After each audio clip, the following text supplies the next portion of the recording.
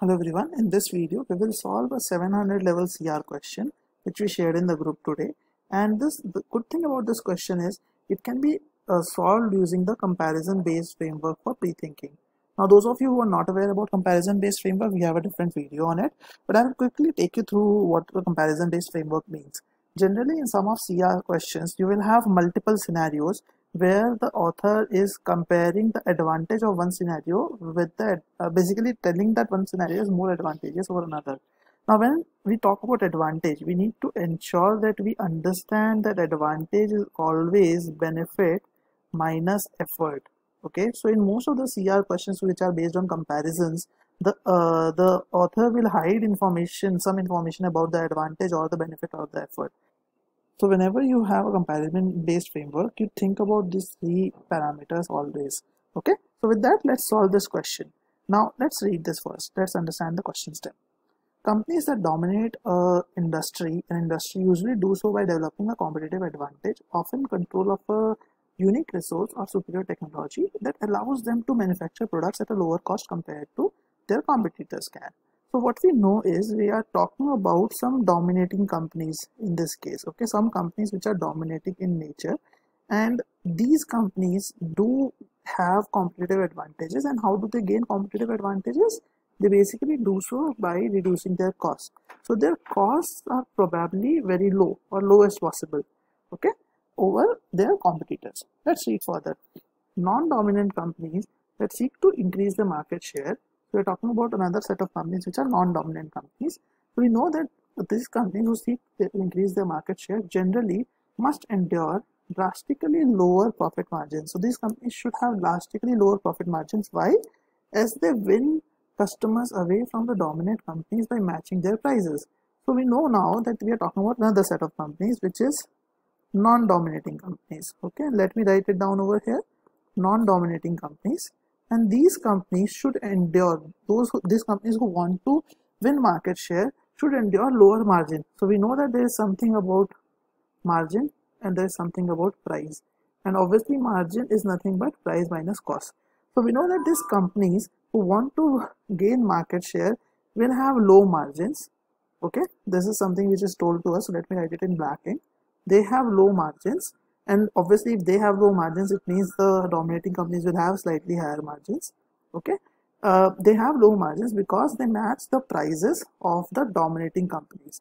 So if the price of dominating companies the price that the dominating companies are keeping is x1 then the price that these people have is x1 also. They match the prices of this. And obviously their cost is slightly higher compared to the dominating companies. So that is why their margins are low but if you focus on this part, that matching their prices, what it means is that not all dominating companies do this. There are companies who are mm, uh, basically trying to win the share of the market. They're trying to increase the share of the market. So this is basically some specific companies that we are talking about. Okay. These specific companies reduce their price. They basically match their price. What does that mean? That basically means we have some non-dominating companies who are like when they were working normally like under normal scenarios their prices will probably be x2 okay the cost will still be the same higher but their margins will be slightly more. Okay because the price that they generally have is x2 obviously x2 is supposed to be greater than x1 so that is the information that is provided.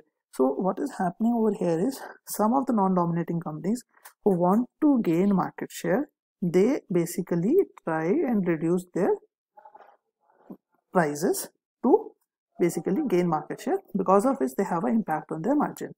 So this is the understanding of the whole argument. Now let's uh, let us look at the last part of it. So companies that increase their market share in this way. So we are talking about which companies? We're talking about these set of companies okay? So the companies who increase the market share in which way? What what is this way? The way is to basically decrease the prices match the prices and do not change their disadvantage in production cost so we also know that we are talking about these companies plus we are also we also know that there is no change in cost. So we know that these companies are not going to change their cost at all. Okay? So companies that uh, do not change their disadvantage in production cost relative to those of the dominant companies will therefore so this is the conclusion. Eventually lose their recently won market share as prices return to normal level. So what is being said here? So as the prices return to normal level for these companies they will lose their market share.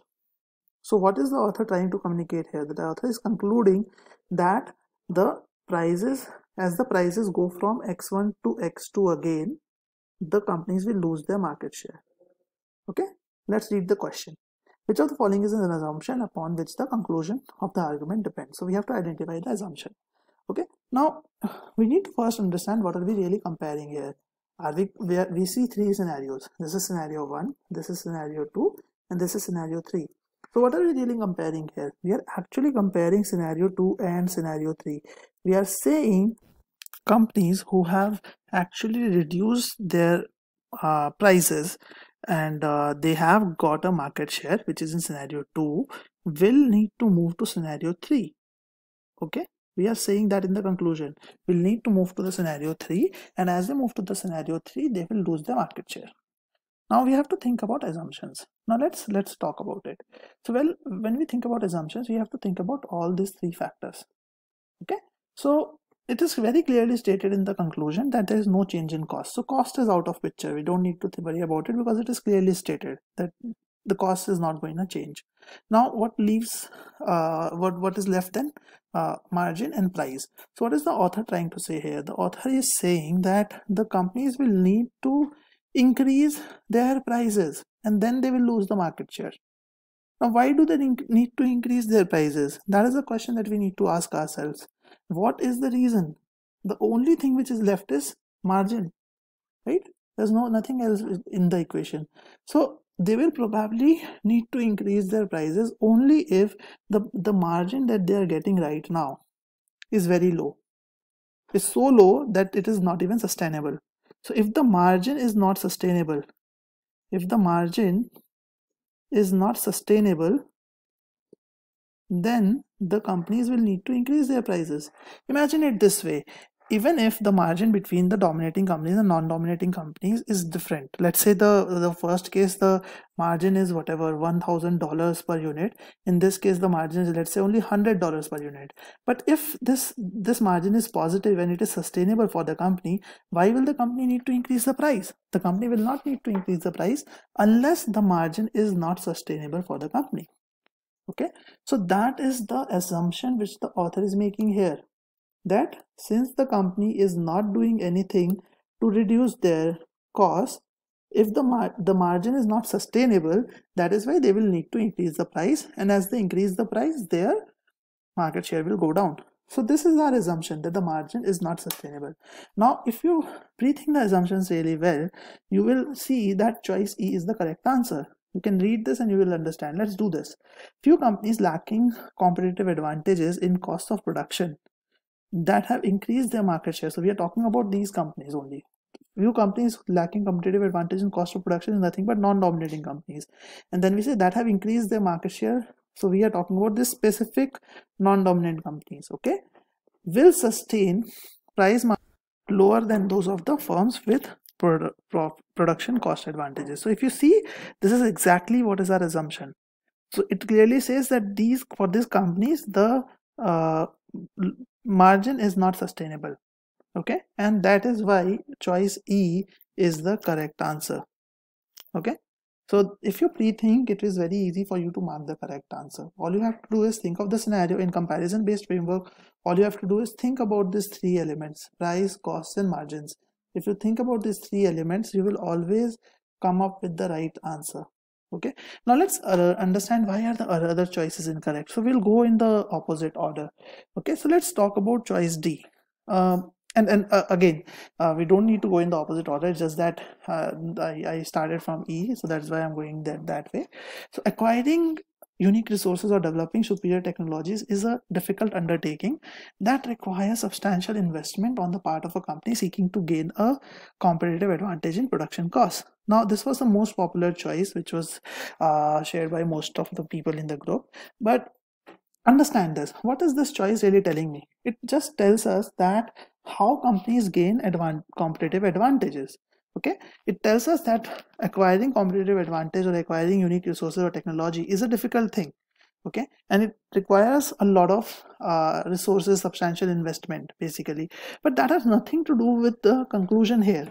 It just is a, is a general statement about the dominating companies. Okay? How they gain the profit like the the market share like how they gain the competitive advantages. And it has nothing to do with scenario 2 and scenario 3 it is completely about scenario 1 itself.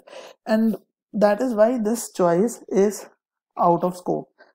We it is not specific to the non-dominating companies. It's a very general statement and it is not specific to the conclusion.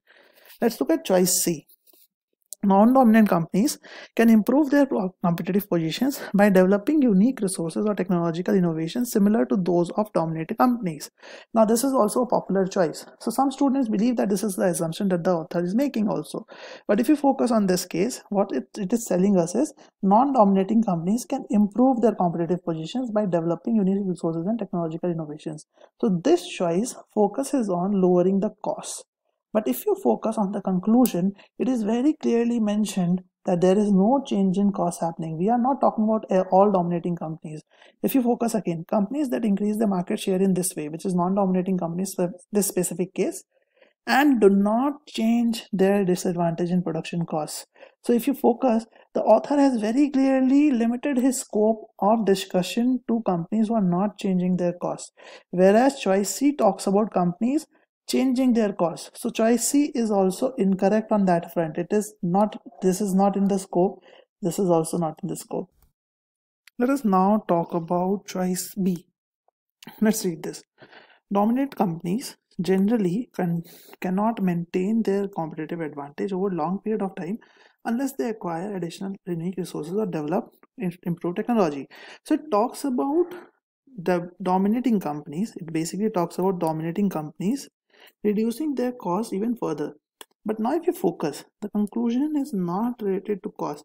The prop the dominating companies reducing their cost becomes a problem only when we're talking about non-dominating companies working on their costs. Okay, which is not the case. We are clearly mentioned, we have clearly mentioned that these non-dominating companies who are not working on their costs will also face a problem.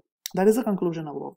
Okay, so choice B is also incorrect now let's look at choice A. Now this is another choice which a lot of students believe uh, is the correct answer. Let's read it. A dominating company with a competitive advantage generally will not lower its price to undercut those of a firm that lacks competitive advantage in production costs. Now if you focus on this choice, it also talks about dominating companies and it talks about dominating companies reducing their prices further. Okay, but and this is let me tell you this is a very uh, very easy trap to that gmat has set for you. Because a lot of people think that what happens if uh, the dominating companies reduce their price that is also going to create a problem. But think about it this way. Whether the dominating companies reduce their price or they do not reduce their price the conclusion is talking about the current price being non-sustainable. Okay? So if they reduce their price the problem is going to be bigger. But right now even if they don't reduce their price the current problem will still stay as is. Okay? The non-dominating companies are not able will not be able to sustain their margins. This is what the author has been imagining.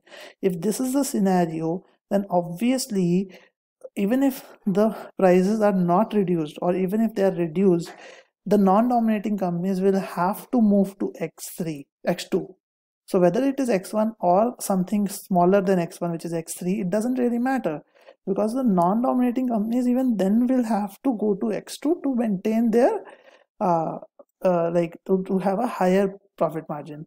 So it all depends on whether the margin that they are getting right now this non-dominating companies are getting right now is sustainable or not.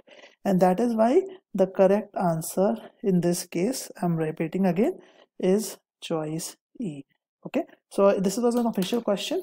I changed the answer choices a little. I swapped the answer choices a little. So if you focus on the comparison based framework and if you focus on the conclusion so here it is very very important for you to focus on this aspect that there is no change in cost that we are talking about and then we are talking about this particular specific uh, companies and comparing them with the normal scenario. If you focus on all these aspects you will always get this question right. Otherwise you will falter in such questions. I hope this was helpful. Thank you very much